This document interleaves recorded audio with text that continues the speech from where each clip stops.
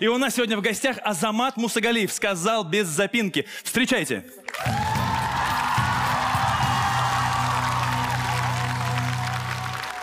Расскажи свою историю всем нам. А, дело в том, что у меня большая беда, ну, большая проблема. Не знаю, как она выглядит со стороны, но для меня внутри это просто раздирает. Я вас понимаю. Да. э, я очень впечатлительный человек. Очень впечатлительный? Очень впечат- О, с голубые глаза, ни хрена себе. О, я очень впечатлительный человек.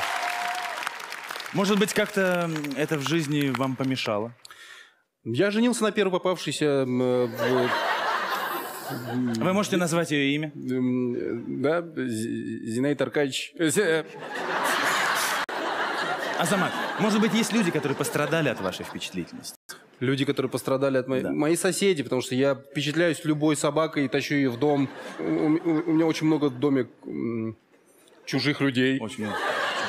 У нас в студии есть человек, который, не побоюсь этого слова, с большой буквы эксперт Да, ну. по этой... Да, да, да. А, Виктор Ухтаев. Из Уфы ему слово. Здравствуйте! А я как эксперт, как эксперт хочу сказать, что он врет нам, что он не впечатляется, он только говорит, что впечатляется, а не, вербально или верба... движениями. Не знаю, как это правильно называется. Он вообще не впечатляется, он ни разу не поменял позу. Это маска! Это он врет. Бла-бла-бла в своей Москве сидят. На своем телевидении. Скажите не так, не забирайте микрофон. Не забирайте Спасибо. микрофон. Вы не забирали, ладно? Я хочу сказать, что вы мне здесь все неприятны. Кроме вас, Азамат.